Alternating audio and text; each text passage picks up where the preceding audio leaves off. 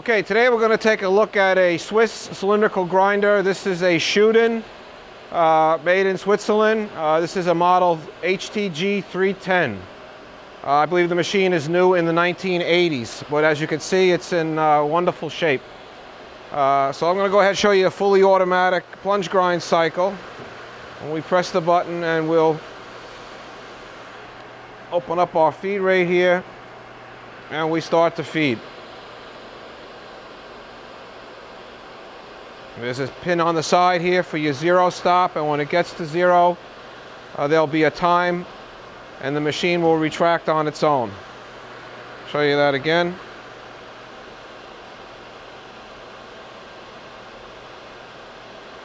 This is adjustment for the table swivel. These are your dogs for the table reversal. This is a setup for a uh, dead stop. And you see when the machine stops, the, uh, the headstock stops. I don't know if you can see it on this angle. I'll move over to here. And the controls to control this machine are all centrally located. Uh, when I go to my first position, I have my headstock coming on and off.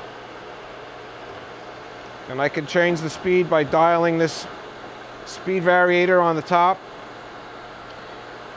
Next position brings in the wheel slide.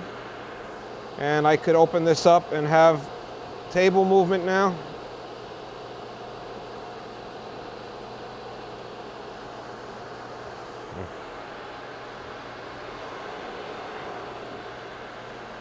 As each time we reverse here, we'll feed. Right down to zero. And spark out works the same way, except there's a selector switch over here that you put uh, to say whether you want it to retract at the right stop or the left stop, so it doesn't come out in the center of your workpiece. Headstock here uses a, a Morse taper number three center, and the headstock here uses a Morse taper number five. Uh, currently it has a reduction sleeve from a Morse taper number five to a Morse taper number four for the headstock spindle. This, this could be made live or dead. Right now it's dead, the spindle is locked, and the driver is turning to rotate your part.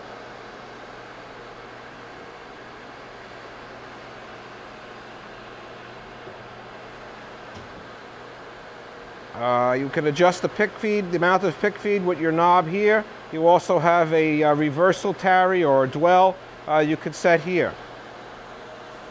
And uh, here is the timer for your spark out. As you, as you turn up this potentiometer, you get different times. Uh, these are the switches here for shutting the machine off. The machine is currently wired for 220 volts, three phase. Has a 14 inch grinding wheel. Uh, machine will be supplied with a coolant system, which is not currently with it. Uh, we'll probably pick up a brand new uh, Graymills or Westco.